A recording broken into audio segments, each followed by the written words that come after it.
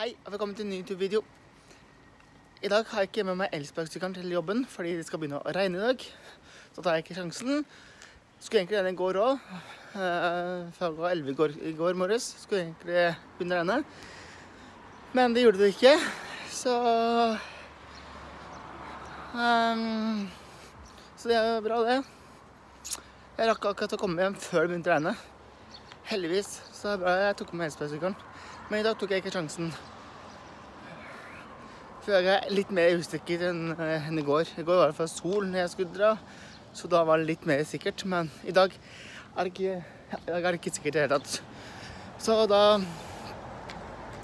Da blir det ikke noe eh, noe sånt eh, noe i dag.